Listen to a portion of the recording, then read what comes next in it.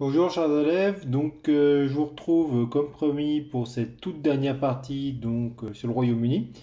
Donc là on va voir euh, bah, la relation entre le Royaume-Uni et le monde, et notamment avec l'Europe et la France.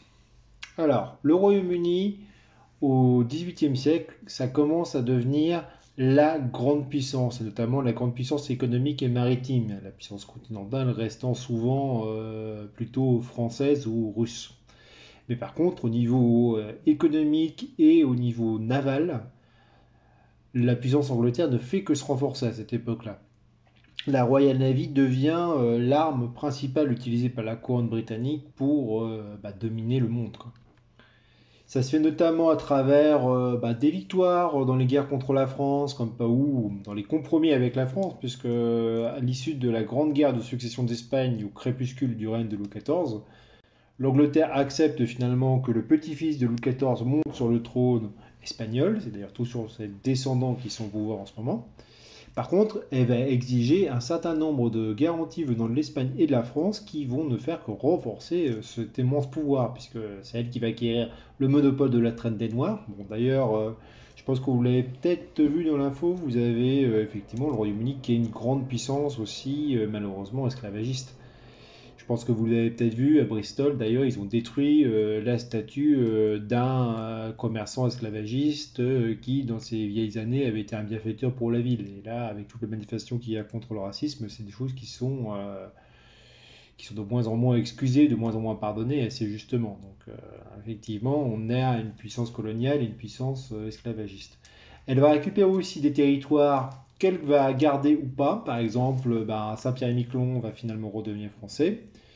Par contre, elle va mettre la main sur l'ensemble du Canada, parfois d'ailleurs en persécutant les populations francophones. Elle va récupérer aussi Gibraltar, ce qui être super important puisque encore aujourd'hui, Gibraltar est un territoire britannique aux grandes dames de l'Espagne. Donc ça permet effectivement euh, à l'Angleterre de garantir cette puissance navale, cette puissance économique gigantesque qui se répand euh, sur tout le Nouveau Monde, qui devient de plus en plus une possession anglaise. Ça, on en avait déjà parlé. hein. Euh, bah, en fait, euh, au début du 18e siècle, euh, pardon, au début milieu du 18e siècle, la quasi-totalité de la côte est de l'Amérique du Nord est anglaise et ils ont de plus en plus de possessions dans les Antilles, dans les îles et aussi en Inde, où ils supplantent largement la France avec notamment Bombay et Calcutta. quoi. Et ça devient donc une puissance commerciale de plus en plus importante, puisque là vous avez aussi euh, le nombre d'exportations, d'importations qui ne fait que croître, acquérant donc l'Angleterre devient la grande puissance économique, la première puissance économique mondiale à ce moment-là, supplantant peu à peu ben, la Chine notamment. Alors, évidemment, ça fait qu'à Londres, le- Londres devient une très grande ville portuaire. Elle réalise 80% des importations, 70% des exportations. C'est aussi qui accueille la marine de guerre anglaise, la Royal Navy. Ça devient effectivement la plaque tournante du commerce mondial. Et là où elle va être très moderne, c'est à travers le quartier de la City. La City, c'est encore aujourd'hui le quartier le plus ancien de Londres. Mais ça va devenir euh, en Angleterre, et c'est la première ville à avoir ce modèle-là, puisqu'en France, on a plutôt euh, des centres-villes qui sont occupés par des pouvoirs religieux ou administratifs. Bah, effectivement, pour Londres, euh, le choix, ça va se porter sur l'économie, et ça, vous le reverrez en première sur les métropoles, en géographie pour le coup.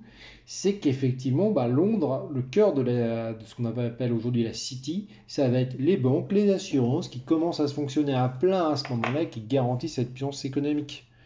Tout cela fait que la puissance, la population de Londres ne cesse d'augmenter. Elle passe de 200 000 habitants en 1600 à 400 000 en 1650 et finalement à 675 000 habitants en 1750, c'est réussissant à surpasser enfin sa grande rivale Paris. En termes de population, euh, ça se joue dans un mouchoir de poche, mais pour la première fois, Londres est au niveau, voire supérieur à Paris.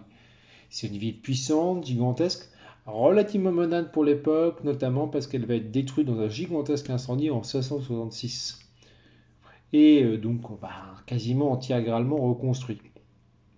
Mais ça fait de cette ville une ville gigantesque, une ville incroyablement riche et puissante, qui fait l'admiration d'à peu près toute l'Europe. C'est aussi une grande puissance culturelle et scientifique. hein. Là, vous avez un petit dessin comique en hommage à Isaac Newton, qui vit à cette époque-là, qui va avoir la fameuse théorie de la gravitation universelle, selon la légende, avec une pomme qui lui serait tombée dessus. Et donc, euh, on va avoir aussi des philosophes comme John Locke qui défend justement le droit du peuple à résister à l'oppression. Ou enfin, et ça va être encore plus important que tout le reste, la machine à vapeur de John Watt, qui va devenir euh, ben, l'emblème de la modernité anglaise et garantir une population toujours plus riche, toujours plus éduquée, toujours plus nombreuse. Et cette influence, ben, se fait sortir partout. L'Europe de l'Europe regarde vers l'Angleterre et notamment les philosophes français comme Montesquieu ou Voltaire qui la voit avec une grande admiration. Montesquieu, c'est en observant l'Angleterre qui rédige sa fameuse théorie des trois pouvoirs qui doivent être séparés, exécutif, législatif et judiciaire.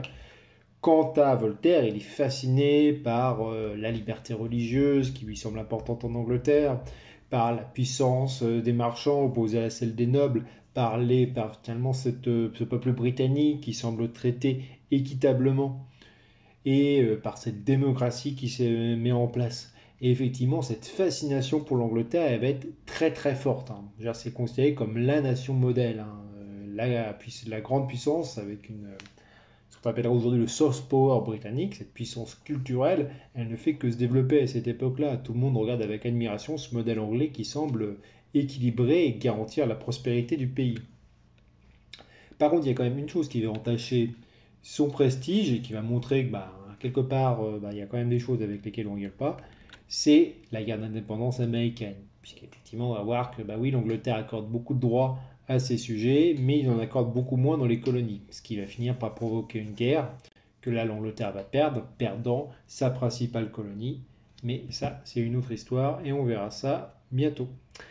Merci de m'avoir écouté encore une fois et je vous dis donc euh, soit ce week-end, soit à la semaine prochaine. Merci.